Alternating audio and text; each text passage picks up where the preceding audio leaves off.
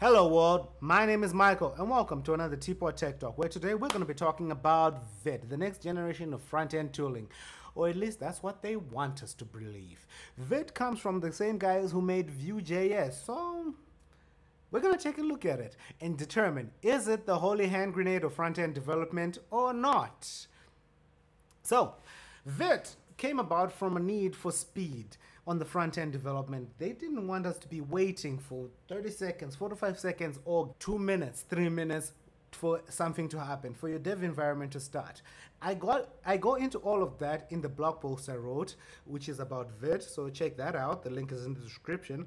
And if you're very interested in Vite, I also urge you to check out their site, vitejs.dev. It's a very interesting site, and Vite is a very interesting project. So what are our goals for today? Our goal is to set up a dev environment or a dev workflow that mimics what I usually use on a daily basis. So it has all the good stuff, linting, tests, storybook, that.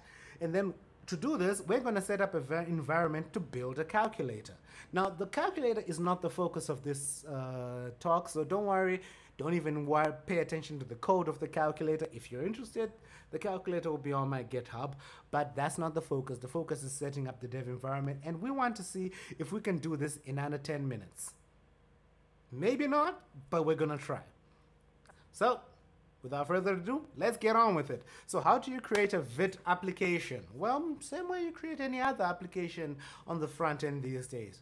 There's a template for that. And for that, you just have to say yarn create, and I think it's Vite. There we go. It's going to ask you for the name of your application. And the application name, which we're going to use is, you know, very creatively called calculator, if I can spell it. Now, Vite gives you options on what to create. You know, you can create a vanilla JavaScript app application, you can create a Vue application, you can create React.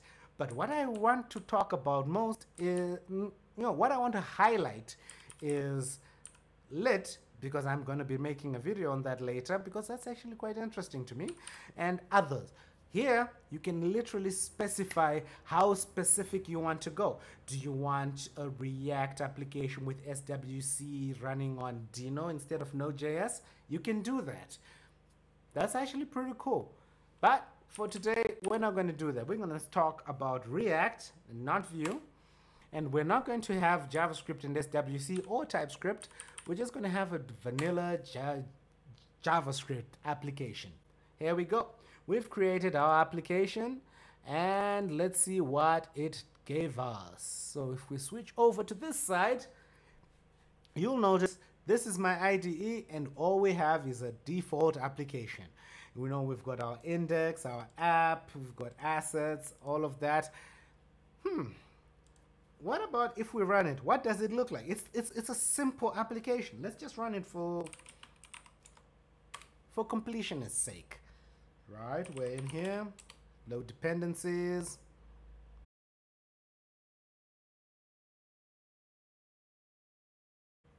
Great. So load dependencies, then we say yarn dev.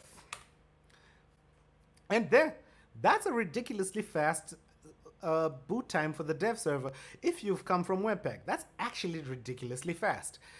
I've had dev environments in Webpack which take a couple of minutes to load. So let's check this out here. So there we have it. We have our application running. It's not the best application, but it is a proof of concept with Vite and React. We've got a little button here that works. Click, click, click. You can click it as many times as you want. So what's the first thing we're going to do? Well, first we're going to put it, save everything we've done now to version control. So let's create another item here. We're going to cd to, what is it? Uh, code vid calculator there we go. And then we're just going to initialize get in it. What am I thinking? Right and then let's see what do we have? Everything. Let's just add everything to github. And there we go. Let's just say initial commit. Okay. And then boom now, second thing we're going to do is I like linting. Linting is awesome. So we're going to use a linter for this project. What kind of linter do we think? Well, gold standard, ESLint. All we have to do is just run npm init eslint config. It will handle everything else. Let's run it. So it asks you question like the config. This is not a tutorial on config, but it's a good thing to know. It will ask you question and install your dependencies. So look, let's look at the options. Do we want to check syntax, find problems, and enforce code styles? Yes, yes, and yes. Are we using React, Vue.js, React? And do we use TypeScript? No, we do not use TypeScript. For today, we will be using TypeScript later, but not today and we're targeting the browser. Do we want to use a code style? Yes, of course we do. Which one? Standard, the gold standard in code styles. And it starts installing everything.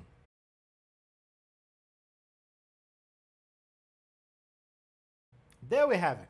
So it has finished installing the linter but if we try to run lint, it won't work. Why is that? Because we don't have a lint command. So let's go to our package JSON right here.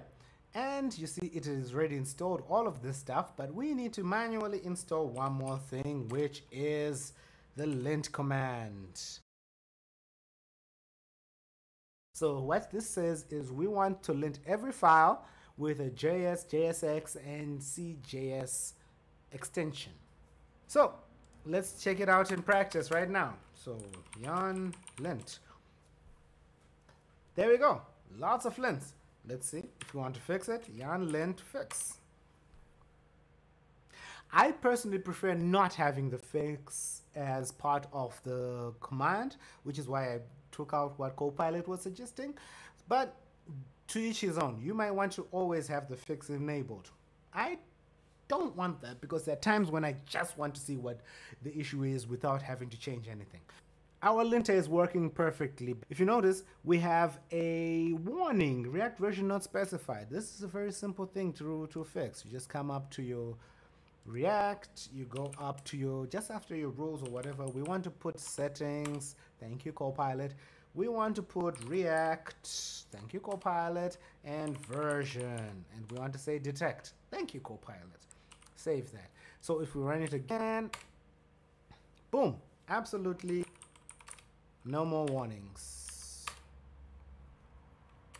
Great.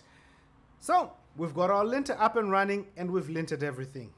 This looks like another good point to commit everything. And what are we going to say? Add linter. There we go.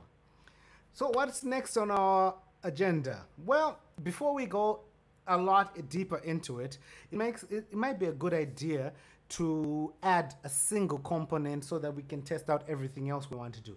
So what we're going to do, we're going to add a component. Let's add the component directory, components, there we go. And we're going to add, since we're building a calculator, every calculator has keys. So we're going to add a key component.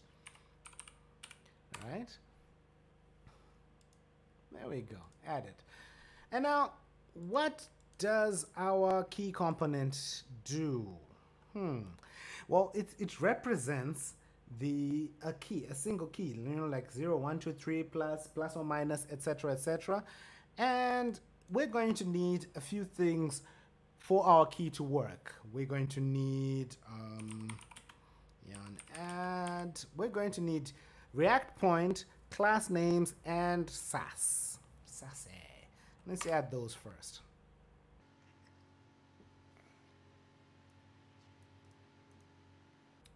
That done. Now we're going to paste. I told you there was going to be a lot of pasting. I ain't typing all of this stuff out because that's not the point of this entire video. So there we have it. We have, this is a simple component, right? Um, all it does is use point target, which is this weird, nice React library. Check it out. To create a key, an individual key. And if you notice here, it check, uh, it references a key module.scss, a Sass file. So we're gonna have to create that. Let's create that. File, key. Mm -hmm. mm. Which is another beautiful thing I would like to point out about Vite. Vite supports CSS modules out of the box. All I had to do was just add Sass. So I could literally have just had a module.css and it would have worked fine. So that's another beautiful thing. Don't worry, we're not going to be talking about the style. We're just going to copy and paste. Copy and paste. There we go. So we now have our key. Now, at this point, at this juncture, it's, it's, it's a, we want to see what our key looks like, right? Now, normally you probably have to add the key to like app.jsx and, you know, refresh here, but we don't want to do that because that's a lot of work.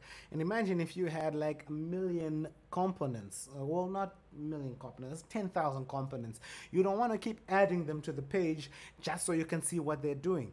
Uh, how they work, how they interact. So there's this tool which we at djangsters use on a regular basis, which simplifies that. It allows you to to um, isolate a component, if that's a word. Yeah, isolate a component, and then just view it by itself. That tool is called Storybook. So let's install Storybook here.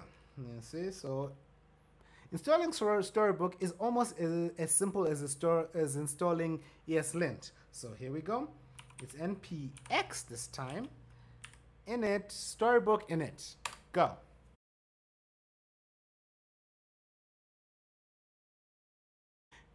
And there we go. So what it did is it actually installed a lot of things and then it's going to ask you a very important question. Do you want to install the Storybook uh, linter plugin?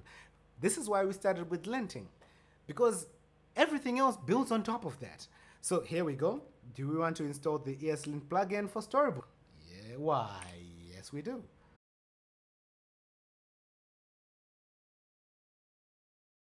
And there you have it, ladies and gentlemen. We now have Storybook installed. As it says, we can run yarn, Storybook, and then see what it does.